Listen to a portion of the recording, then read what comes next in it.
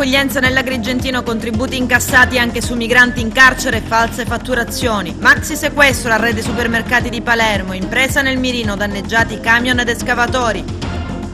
Arrestato 37enne denunciato 60enne per attività di gestione dei rifiuti non autorizzata e combustione illecita. Un tubo inquina la spiaggia di Torre Salsa. Scissione in seno alla giunta Carmina vanno via Urso e Diddio. Il primo cittadino da Carmina perde anche l'ultimo dei suoi componenti storici, Salvatore Urso, che è anche vice sindaco. Musumeci esclude un nuovo mini lockdown e si propone di chiedere nuove aperture. Ritardi sul piano vaccinale.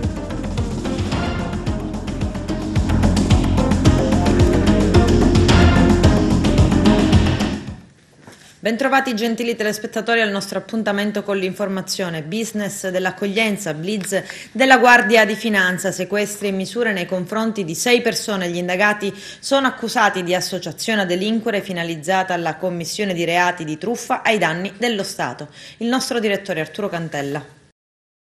La Guardia di Finanza Compagnia di Agrigento, su delega del procuratore aggiunto dottor Salvatore Velle e del sostituto dottoressa Elania Manno, ha dato esecuzione a un'ordinanza applicativa di misure coercitive e a un contestuale decreto di sequestro preventivo di beni per un valore di oltre 1.300.000 euro emessi dall'ufficio del GIP del Tribunale di Agrigento nei confronti di sei persone gravemente indiziate dei reati di associazione a delinquere finalizzata alla commissione di una pluralità di truffa ai danni dello Stato, realizzate nell'ambito della gestione di un ente che in partenariato con numerosi comuni della provincia si occupa di accoglienza e ospitalità di soggetti extracomunitari richiedenti asilo. Gli indagati coinvolti a vario titolo nella gestione amministrativa, contabile e operativa nella nota associazione di promozione sociale denominata Omni Academy aveva sede a Favara. Sono accusati di aver fraudolentemente ottenuto contributi e finanziamenti pubblici per oltre 1.300.000 euro, pari alla somma delle rette giornalmente ottenute per l'accoglienza di migranti fittiziamente presenti nelle varie strutture gestite dall'associazione, alle spese fittiziamente sostenute e lecitamente fatturate ai danni dei vari enti locali preposti all'erogazione dei contributi nell'ambito dei progetti SPRAR, Sistema di protezione per richiedenti asilo e rifugiati.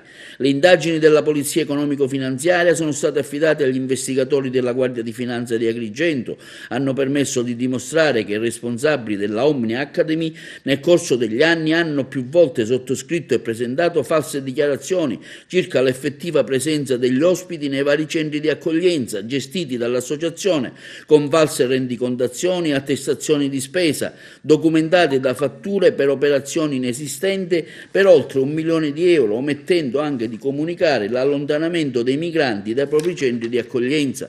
I provvedimenti cautelari in esecuzione sono stati richiesti e ottenuti al fine di impedire ulteriori condotte truffaldine da parte degli indagati, cui viene inibita la possibilità di contrarre con la pubblica amministrazione e imposto l'obbligo di presentazione alla polizia giudiziaria.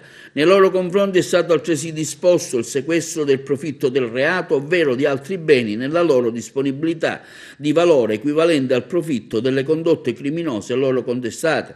Nel corso dell'operazione sono stati anche individuati e sottoposti a vincolo cautelare della Guardia di Finanza decine di conti correnti, rapporti bancari e finanziari riconducibili agli indagati, dieci unità immobiliari, tra cui due lussuose ville nel territorio di Agrigento e altri beni registrati che in caso di condanna saranno suscettibili di confisca al ristoro del danno economico patite dall'erario pubblico. L'associazione culturale che aveva un fatturato non indifferente per eh, almeno 5 milioni di euro negli anni migliori ed è purtroppo un limite perché le associazioni culturali non hanno i vincoli che le altre società giuridiche hanno con facilità diciamo, maggiore di poter truccare le carte come avveniva in questo caso.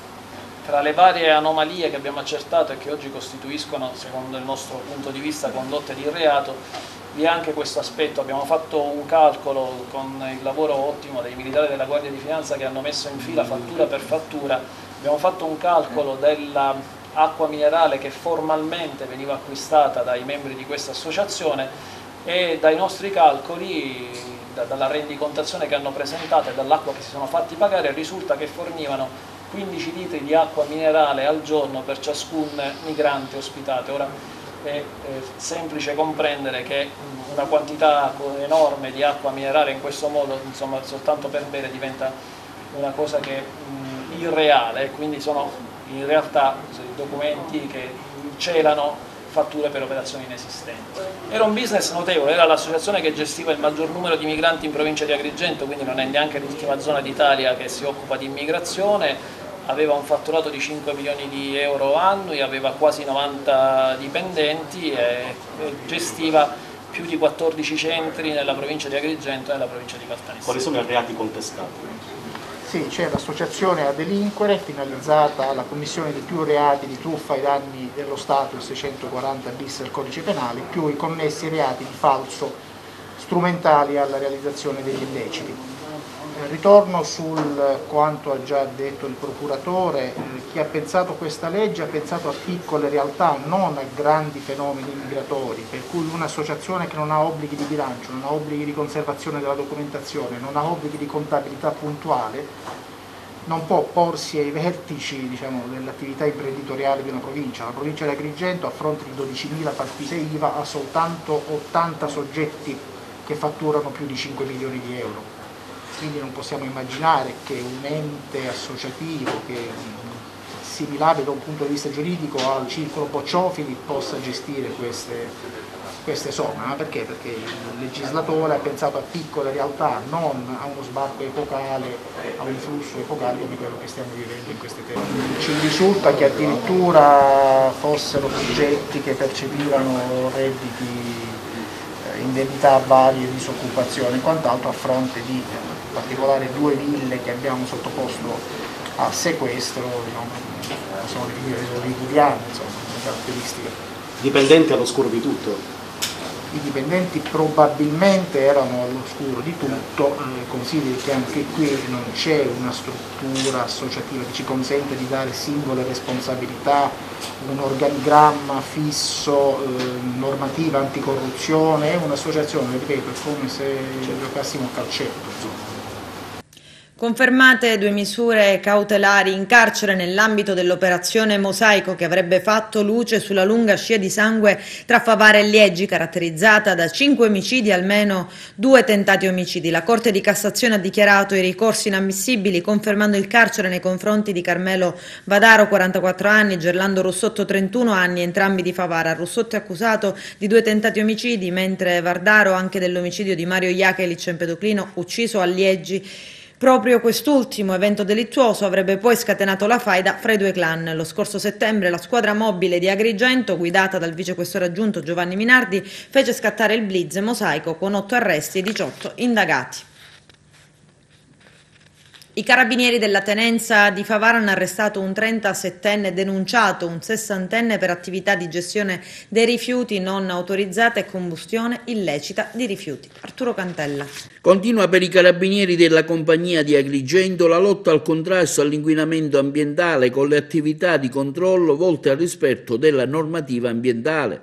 A soli pochi giorni dall'operazione compiuta dall'Arma di Agrigento in località Piano Gatta presso lo stabilimento Laterizi Acragas, i carabinieri della tenenza di Favara hanno tratto in arresto un uomo per i reati puniti del testo unico ambientale relativi all'attività di gestione di rifiuti non autorizzata, combustione illecita di rifiuti, omessa bonifica dei siti inquinati, su segnalazione di un incendio nei pressi della contrada Molinella di Favara, avvenuta da parte di un privato cittadino, è stata rinvenuta dai militari dei carabinieri dell'arma una vera e propria discarica abusiva all'interno della proprietà privata del favarese arrestato, discarica che all'arrivo degli operanti risultava ancora avvolta dalle fiamme. L'odore fortemente sgradevole e i fumi provocati dal materiale che stava bruciando ha fatto allertare i carabinieri che a seguito di accurata ispezione della proprietà hanno constatato che l'uomo aveva in atto un'attività illecita di gestione e combustione di rifiuti solidi urbani, speciali, pericolosi e che deteneva illegalmente, non in sicurezza, nella vasta area in suo uso. Sul posto interveniva anche il personale dell'ALPA, per la catalogazione dei rifiuti. Nella stessa proprietà è stata verificata anche la presenza di ingente materiale ferroso e di gasolio agricolo di illecita provenienza, per cui il Favarese è stato inoltre deferito in stato di libertà per i reati di truffa ai danni dello Stato, ricettazione ed esercizio abusivo dell'attività commerciale relativa alla presumibile vendita del gasolio rinvenuto. L'operazione dei carabinieri di Favara ha comportato inoltre il deferimento in stato di libertà del proprietario del terreno, un uomo di 59 anni di Favara, e il sequestro preventivo dell'area interessata. I carabinieri di, della tenenza di Favara ieri hanno tratto in arresto un 37enne favarese perché è ritenuto responsabile di gestione illecita dei rifiuti e combustione illecita di rifiuti. Su segnalazione di, dei cittadini di Favara, che, i quali ci hanno segnalato appunto fumi e cattivo odore provenienti da una zona di campagna, ci siamo recati sul posto e abbiamo subito constatato la presenza di una discarica abusiva di 1500 metri quadrati circa, dove c'era presente una varietà eh, di materiali tossici e pericolosi. Abbiamo tratto in arresto il soggetto perché trovato proprio nella fragranza del reato eh, stava appiccando fuoco ai rifiuti tossici e abbiamo denunciato anche il proprietario del terreno, un sessantenne sempre favarese.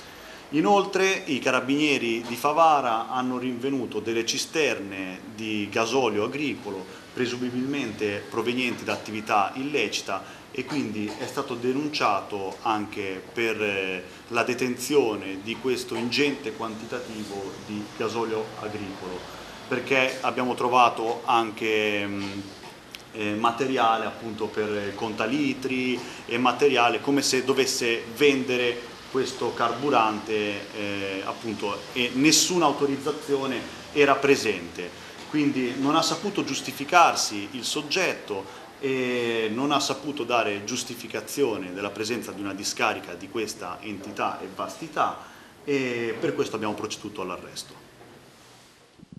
Ignoti hanno danneggiato due camion e due scavatori di proprietà dell'impresa a cui la provincia di Agrigento ha appaltato per un importo di circa 2 milioni di euro i lavori di recupero della strada provinciale che collega Santa Margherita Belice con Sambuca di Sicilia. Il titolare ha sporto denuncia, indagano i carabinieri coordinati dalla Procura di Sciacca da quantificare il danno arrecato. I due scavatori sono, erano posteggiati nel cantiere allestito lungo la strada provinciale due camion, uno Iveco e l'altro Mercedes invece in un'area di parcheggio a Santa Margherita Belice. Maxi sequestro beni da 150 milioni di euro ad un imprenditore nel settore della grande distribuzione a Palermo e provincia e un imprenditore colluso con i clan mise a disposizione un appartamento per il boss provenzano. I dettagli nel servizio. Alla fine degli anni 90 gestiva tre supermercati a Bagheria. Oggi possiede un impero nel settore della grande distribuzione nel 2019 ha sviluppato un volume d'affari pari a circa 80 milioni di euro. Si tratta di Carmelo Lucchese, 55 anni, finito adesso sotto accusa. Le indagini del nucleo di polizia economico-finanziaria e della Procura di Palermo fanno luce infatti sui rapporti che l'imprenditore avrebbe continuato ad avere negli anni con la criminalità organizzata. Per questa ragione la sezione misure di prevenzione del Tribunale ha disposto il sequestro per la sua cassaforte, la Gamac Group SRL, che gestisce 13 supermercati fra Palermo e la provincia con marchio Conad e Todis. Sette sono in città, gli altri fra Bagheria, Carini, Bolognetta, San Cipirrello e Termini Merese. I finanzieri hanno notificato il provvedimento stamane le attività continueranno a lavorare, gestite però da un amministratore giudiziario nominato dal Tribunale. Sono stati sequestrati anche sette immobili a Pagliarelli, 61 rapporti bancari, 5 polizze assicurative, 16 autovetture, fra cui due Porsche Macan. Già nel 2014 Sergio Flamia, l'ex capo della famiglia di Bagheria, diventato collaboratore di giustizia, va accusato Lucchese di essere vicino al clan, lo riporta Repubblica, ma all'epoca quelle dichiarazioni non bastarono per far scattare una vera e propria inchiesta. Oggi si sono aggiunte le rivelazioni dell'ultimo pentito di mafia, Filippo Visconti, l'ex capo della famiglia di Belmonte Mezzagno. Gli investigatori del GICO hanno poi ricostruito in modo approfondito la repentina scalata dell'imprenditore lucchese. Ha operato sotto l'ala protettrice di Cosa Nostra, scrive il collegio, accogliendo la ricostruzione del procuratore Francesco Lovoi, dell'aggiunto Marzia Sabelle e del sostituto Giovanni Antoci. A Bagheria il re della grande distribuzione non avrebbe mai pagato il pizzo e grazie all'aiuto dei mafiosi bagheresi non avrebbe avuto aumenti sulla tassa mafiosa da versare in città per ogni punto vendita. Per il tribunale non c'è prova che soldi di Cosa Nostra siano finiti nelle società di Lucchese, ma l'imprenditore accusato di essersi rivolto ai boss anche per liberarsi di alcuni soci e sbaragliare la concorrenza. Nel 2005 avrebbe fatto addirittura incendiare un supermercato di bagheria che rischiava di portarli via clienti, un rapporto illecito di reciproco interesse, dunque quella criminalità organizzata, lo definisce così il colonnello Gianluca Angiolini, comandante del nucleo di polizia economico-finanziaria di Palermo, quando i mafiosi di Bagheria cercavano un covo sicuro per il superlatitante Bernardo Provenzano, l'imprenditore della grande distribuzione, avrebbe dato dunque disponibilità di un appartamento, anche se poi non venne dato, ha precisato così sempre il pentito Flamia, ma aveva offerto la sua disponibilità. Attorno alle indagini su Provenzano c'è il capitolo più misterioso di tutta questa storia. E ancora Flamia a raccontare con poliziotto della sezione Cattorandi, della squadra mobile di Palermo, avrebbe passato notizie sulle inchieste lucchese, notizie poi finite ai boss di Bagheria, la moglie del poliziotto lavorava in uno dei supermercati, aggiunto ancora il pentito, per l'accusa all'imprenditore, soggetto socialmente pericoloso, avrebbe anche assunto parenti dei mafiosi, quale riconoscimento e l'accusa del loro determinante intervento in momenti cruciali nel percorso di espansione commerciale. Per la procura lucchese il prototipo degli operatori economici che continuano ad arricchirsi all'ombra dei clan, l'operazione di oggi, dice il generale Antonio Quintavalle, comandante provinciale della Guardia di Finanza, si inserisce nell'ambito di una precisa strategia investigativa sviluppata con la Procura di Palermo per colpire l'organizzazione mafiosa e liberare l'economia legale dalle infiltrazioni criminali. Il comune di Agrigento ha impegnato 30.000 euro per il ritiro dei rifiuti indifferenziati all'ospedale San Giovanni di Dio di Agrigento. La vicenda ormai nota anche grazie alle numerose immagini che hanno fatto il giro dei social e che immortalano cumuli di rifiuti ammassati all'esterno del nosocomio agrigentino. Nelle scorse settimane, dopo le costanti lamentele dei cittadini, era intervenuto il vice sindaco Aurelio Trupia che aveva indicato le cause del problema che si trascina da quando praticamente è iniziata la raccolta differenziata evidenziata nella città dei Templi, nel mancato adeguamento da parte della direzione dell'ASP di Agrigento alla differenziazione dei rifiuti, malgrado i diversi solleciti. Adesso è lo stesso comune di Agrigento che impegna 30.000 euro a titolo oneroso per la bonifica dell'aria che sarà effettuata dal gruppo ISEDA. L'intera spesa sostenuta, come si legge nella determina del dirigente del settore terzo, sarà poi fatturata direttamente all'ASP di Agrigento che provvederà al rimborso. Delitto manca, si riapre la pista di mafia, riprende quota il giallo dell'urologo che 17 anni fa è stato trovato morto nel suo appartamento. Vediamo. Un medico affermato già a 34 anni destinato a un luminoso avvenire nel campo dell'urologia, ma diventato tragicamente famoso per la sua fine, una morte avvolta ancora oggi nel mistero con due aghi conficcati nel polso e nel gomito, il viso tumefatto e l'atroce sospetto di essere rimasto vittima di un'esecuzione di mafia e il giallo di Attilio Manca, l'urologo di Barcellona, Pozzo di Gotto, Messina, trovato morto 17 anni fa a Viterbo e che adesso torna in primo piano. La terza sezione del Tribunale di Roma assolto in appello perché il fatto non sussiste la donna accusata della cessione di eroina, Monica Mileti, che in primo grado era stata condannata a 5 anni e 4 mesi mesi di carcere, un verdetto ribaltato che di fatto rafforza lo scenario più agghiacciante al quale hanno sempre creduto non solo la famiglia ma pezzi importanti della società civile, tanto che il caso Manca nel 2018 è stato affrontato anche dalla commissione parlamentare antimafia allora guidata da Rosi Bindi. Cosa accadde quella maledetta mattina dell'11 febbraio 2004 nell'abitazione viterbese del medico che viveva da solo? L'ipotesi è quella di un omicidio compiuto tramite un'overdose indotta, seguita da una messa in scena, perché pochi mesi prima, come rivelato da alcuni pentiti, il dottore era stato segretamente in Francia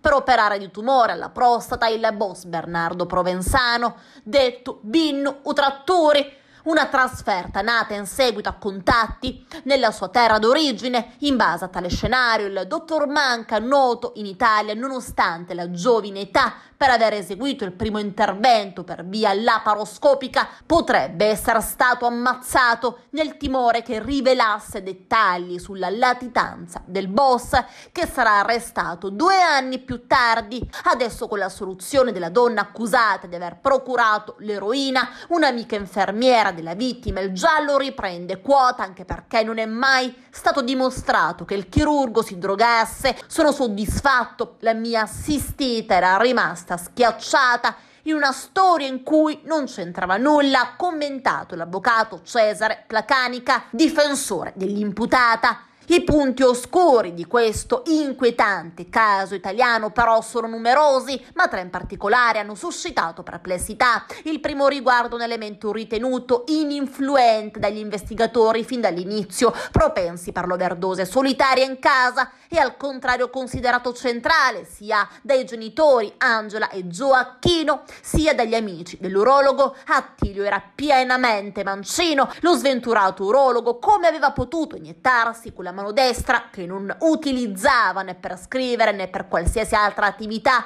le dosi mortali di eroina, altro elemento alquanto enigmatico la mancanza di impronte sulle siringhe repertate, una delle quali presentava persino il tappo salta stantuffo, terzo tassello il pestaggio, la vittima come documentato dall'esame autoptico e dalle fotografie presentava segni di un pestaggio sul viso con la frattura del setto nasale, un quadro più che mai controverso insomma sul quale si erano già a suo tempo innestate le dichiarazioni del meno cinque pentiti ascoltati in vari contesti giudiziari, tutti concordi secondo quanto riportato nella relazione dell'antimafia del febbraio 2018 nel dire che Attilio Manca era stato assassinato dopo essere stato coinvolto nelle cure del latitante provenzano in Francia. Giulia Sarti, deputata del Movimento 5 Stelle della Commissione Giustizia della Camera, ha così commentato la sentenza. Cade la falsa pista della droga. Attilio Manca non si è mai drogato e non si è suicidato, è una vittima di mafia. Terremoto all'interno della giunta di Porto Empedocle, guidata dal sindaco Ida Carmina, il vice sindaco e assessore al bilancio Salvatore Urso e l'assessore Salvatore Di Dio hanno presentato le dimissioni. Alla base delle dimissioni dell'ex vice sindaco ci sono le differenze di vedute con la strategia del Movimento 5 Stelle a livello di politica nazionale. Urso ha dichiarato che pensa al presente e alla sua famiglia e che per le elezioni comunali attualmente non ha vincoli con nessun partito. Il presidente della regione Nello Musumeci esclude un mini lockdown e si ripropone di chiedere nuove aperture al governo nazionale, soprattutto per la cultura. Vediamo. È chiaro che eh, il contagio è altalenante eh, e noi abbiamo il dovere di seguire il tasso di eh, contagio e al tempo stesso il numero delle perdite. Eh, non siamo in una eh, in una zona eh, di allarme, ma non vorrei eh, ci si arrivasse, perché la zona gialla diventa e deve diventare un patrimonio di tutti e tutti abbiamo il dovere di salvaguardarlo questo patrimonio. Eh, come sapete in alcune zone del nord è stata necessaria la istituzione della zona rossa, in Sicilia in questo momento non eh, si presentano aree con un tasso di crescita particolarmente eh, allarmante tale da giustificare un provvedimento del genere.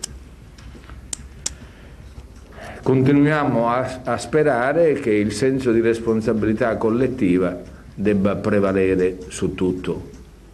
Se riusciamo a mantenere il tasso ai livelli dei giorni scorsi, eh, siamo arrivati a circa 350 contagi, eh, noi potremmo continuare con la zona gialla e magari col governo nazionale confrontarci su eventuali altre aperture.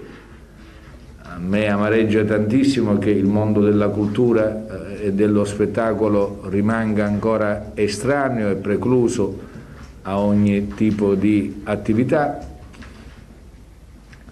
eh, però abbiamo il dovere di conoscere quali sono gli orientamenti del nuovo governo e quindi nei prossimi giorni avremo una conferenza Stato-Regione proprio per capire al di là delle, delle buone volontà del Ministro Speranza, la cui riconferma costituisce naturalmente una, una buona opportunità per noi Presidenti di Regione perché eh, in un certo senso eh, si spera in una continuità del metodo e della strategia, però il governo non ha ancora rivelato quali sono le linee lungo le quali intende muoversi. Quanto siamo indietro con la campagna vaccinale? Il servizio di Eugenio Cairone. Ritardi sul piano vaccinale e polemiche sulla richiesta di un nuovo lockdown. Mentre il governo Draghi incassa la fiducia al Senato, gli esperti cercano di sopperire ai ritardi con l'Italia preda della paura e delle fandonie legate alle varianti. Un clima, insomma, che sicuramente farà fare un salto di qualità al nuovo governo creato per far fronte all'emergenza sanitaria che Draghi dovrà affrontare prima di tutto. Bisogna insomma cercare tutte le soluzioni possibili per tirare fuori gli italiani dal tunnel. Una soluzione potrebbe essere il vaccino russo, molto simile agli altri che stanno facendo esasperare per la lentezza nella distribuzione, come nel caso della Pfizer. Ecco allora che il russo Sputnik diventa una garanzia in più contro il Covid e ci si chiede come mai ancora la politica non si muova in quella direzione. Francesco Vaia, direttore sanitario dello Spallanzani, ieri sera, ospite di Bruno Vespa, ha lanciato un chiaro messaggio alla politica perché ne prenda atto. Vaia ha parlato proprio del vaccino russo. Sono queste cose che gli italiani vogliono sentire e non sentir parlare ancora di lockdown. Che Draghi ci aiuti. E sul vaccino noi eh, abbiamo immaginato che anche se si chiama Belzebù, se è un vaccino efficace e sicuro, noi dobbiamo prenderlo.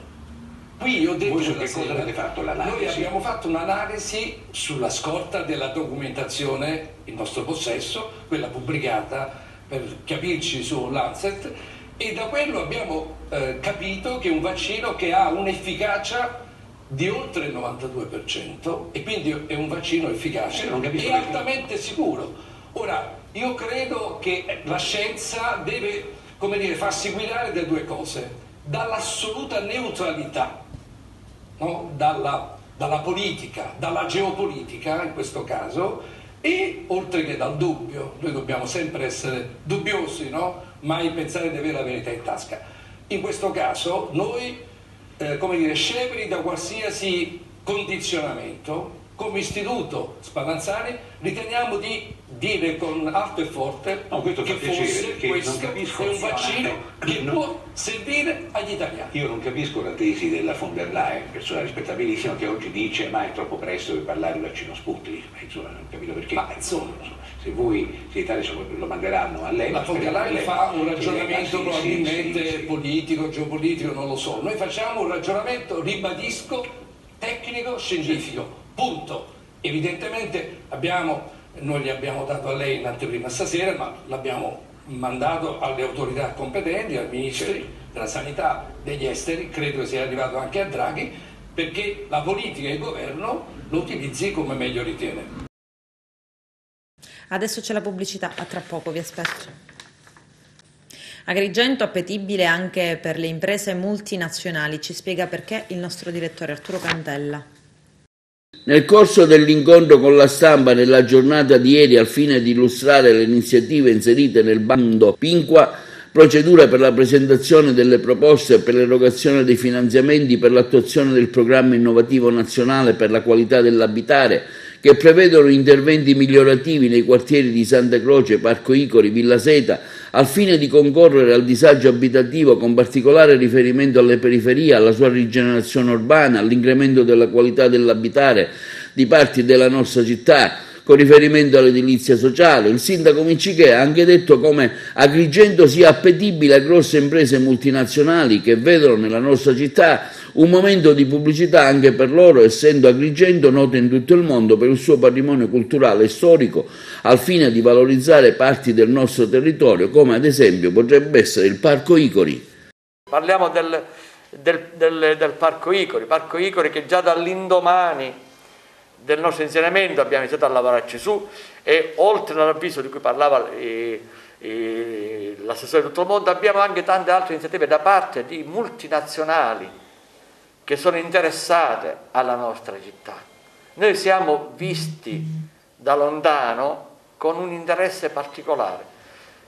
Lo sguardo delle multinazionali su Agrigento è puntato, è interessante perché loro vedono in noi una, un potenziale turistico e economico immenso.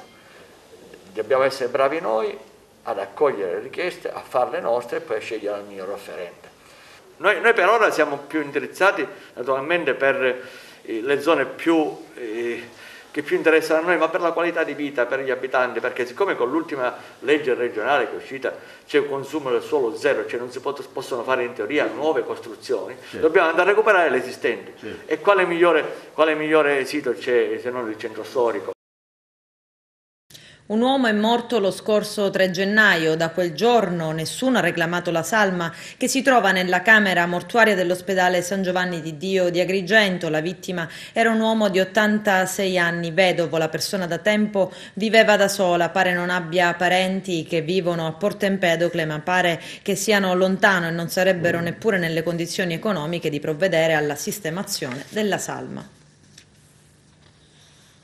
Paura per una pensionata di Raffadali che ieri mattina è precipitata all'interno di un pozzo per le acque piovane profondo ben 15 metri. La donna, forse perdendo l'equilibrio, è precipitata giù per il pozzo non potendo più risalire. Ad attirare l'attenzione del vicinato sono state le urla della settantenne. Alcuni residenti, richiamati dalle grida, sono immediatamente intervenuti a prestare i primi aiuti e chiamare il personale medico. La donna è stata così salvata e trasportata all'ospedale di Agrigento dove le sono stati diagnosticati tra traumi sparsi, ma per fortuna nessuna grave conseguenza. Ad Agrigento, nonostante le difficoltà legate all'emergenza sanitaria, il Comune intende assecondare le esigenze delle famiglie con bambini di età compresa tra 0 e 3 anni, consentendo loro di frequentare gratuitamente gli asili nido comunali. Le iscrizioni sono attese nell'asilo nido di via Esseneto e in quello del villaggio Mosè, dove i bambini potranno frequentare gratuitamente per tutta la durata dell'anno scolastico in corso, seguiti da personale qualificato e preparato. Inoltre, a coloro che hanno bambini bambini già iscritti nei due asili nido saranno rimborsate le rette finora pagate. Nella bella ma sfortunata spiaggia di Torre Salsa, dopo le barche dei migranti, è arrivato un lunghissimo tubo inquinante. La condotta fognaria, probabilmente il pennello di Siculiana, è giunto nella splendida spiaggia di Fungiterri dopo le recenti mareggiate. Maria Amico ha allertato la struttura commissariale che gestisce le fognature in provincia al fine di scoprire la provenienza e provvedere alla sua rimozione. Lo denuncia l'associazione ambientalista Maria Amico. Al via la settima edizione 2020-2021 del progetto Rete. I dettagli con Carmelo Lentini. Prosegue lo sviluppo dell'attività di carattere sociale avviata dal coordinamento del settore giovanile scolastico Sicilia della FIGC. Nel pieno rispetto delle norme e dei protocolli di sicurezza per la tutela della salute e tenendo presente anche l'evolversi dell'attuale momento di emergenza sanitaria da Covid-19, continua la programmazione del progetto Rete, da quest'anno denominato semplicemente Refugee Team, avviato con i centri di accoglienza del sistema SAI Siproimi, al fine di promuovere e favorire l'interazione tra pari e processi di inclusione sociale ed interculturale attraverso il calcio. L'attività Refugee Team, che si svolge in Sicilia sotto la supervisione del coordinatore Stefano Valenti e del responsabile del progetto Franco Nucatola, da quest'anno prevede interessanti percorsi formativi. Questo giovedì, infatti, 18 febbraio, parte il primo corso per educatori e per dirigenti fisici preposti al progetto. Il corso, che si svolgerà in modalità online, sarà tenuto dai professori dell'Università Cattolica del Sacro Cuore di Milano. A questa settima edizione 2020-2021, che partirà entro il mese di febbraio, ad oggi sono iscritti 15 ISAI simproimi siciliani e ben distribuite da un capo all'altro della regione. Si tratta di Agrigento, Cammarata, Canicattini Bagni, Comiso, Mazzarino, Milazzo, Pace del Mela, Palma di Montechiaro, Petrosino, Raffadali, Scordia 1, Scordia 2, Trabia, Vittoria e Vizzini. Eh, è un progetto eh, bello, ambizioso, ma è un progetto importante. Importante perché, come dici tu, questa è settima, la settima edizione e i numeri sono eh, notevolmente aumentati. Basta pensare che dalle 14 eh, SPRAR che sono hanno partecipato alla scorsa edizione, quest'anno siamo arrivati già a 28, quindi c'è grande entusiasmo attorno a questo progetto, un progetto che eh, cambia nome, viene chiamato quest'anno eh, progetto Refugee Team ed è indirizzato ai, ai, minori stranieri accolti in Italia chiaramente senza, eh, senza non accompagnati. Ecco, chiaro... Si tratta eh, diciamo di molti centri, di molti centri della Sicilia che hanno aderito con grande entusiasmo. Lo scorso anno è stato un grande successo, si profila il BIS anche quest'anno. Sì, eh, aumentati notevolmente i centri, basta pensare che anche nella nostra provincia sono sette i centri che partecipano a questa edizione, eh, sono due di Agrigento, uno di eh, Palma di Montechiaro, uno di Licata, uno di eh, eh, Cammarata. Cammarata e Sciacca e Raffadale. Questi sono i centri della nostra provincia che partecipano a questo progetto, un progetto che coinvolge non solo il Ministero dell'Interno ma anche l'ANGI, cioè l'Associazione eh, Nazionale Comuni Italiani. Per questo devo anche ringraziare eh, l'amministrazione comunale di Agrigento con l'assessore Bullo che eh, è stato vicino a noi per l'inizio, per l'iscrizione di, di, di, di, questo, di questo SPRAR tra l'altro agrigentino. E chiaramente oggi inizia anche il corso per coloro i quali eh, ecco, si vogliono dedicare ad allenare questi giovani extracomunitari.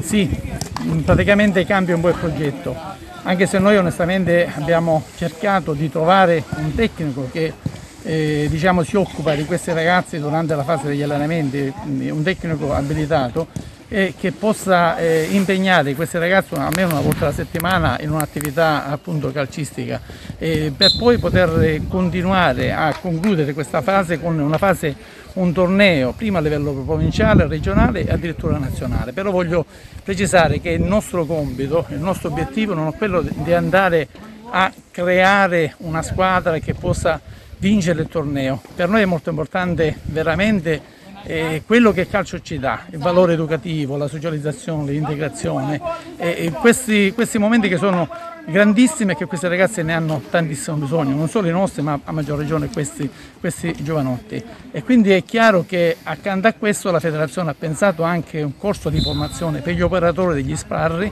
che adesso li chiamano Siproimi, e anche addirittura delle, delle attività eh, online per quanto riguarda i ragazzi che partecipano a questo progetto. L'UEFA nel 2015 ha assegnato a ognuna delle federazioni più importanti d'Italia di seguire un percorso calcistico per i ragazzi, chiamiamoli con difficoltà un po' disagiati. All'Italia ha dato il, la problematica dei minori richiedenti asilo, dato che in Italia ne arrivano tantissimi. Quindi la Federazione Calcio ha accolto questo invito, sposato naturalmente dal Ministero degli Interni, dall'Università Cattolica, con grossi sponsor. Abbiamo iniziato con 5 SPRAR in Sicilia e con 70 ragazzi. Ora dopo 7 anni, questa è la settima edizione, sono 27 centri di accoglienza in tutta la Sicilia e circa 450 ragazzi, per un totale di 1000 ragazzi in tutto il territorio nazionale. È un progetto che dà tantissimo a questi ragazzi, ma anche a noi dal punto di vista umano, sociale, che sono ragazzi che hanno poco e quindi portargli un pallone, portargli una maglietta, coinvolgerli in partite veramente ben organizzate con i nostri tecnici federali per loro è un sogno. Con questo è tutto, termina qui l'edizione del telegiornale. Grazie per la gentile attenzione e per essere stati con noi. A presto.